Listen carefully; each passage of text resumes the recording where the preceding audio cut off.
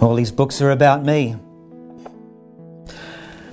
Never in my born days would I have thought I'd put all my stories in all these books.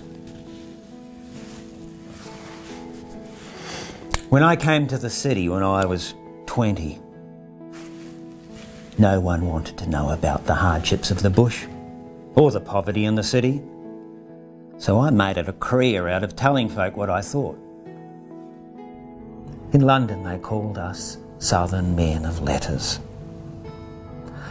Southern Men of Letters, vainly seeking recognition here. Southern Men of Letters, driven to the Northern Hemisphere. Talent goes for little here. To be aided, to be known, you must fly to northern past, in a land where sport is sacred, where the labourers is God. He must pander to the people to make a hero of a clod. I'm back from up country now, up country where I went, seeking for the southern poets, land where to pitch my tent. I have shattered many idols out along the dusty track, burnt a lot of fancy verses, and I'm glad that I'm back.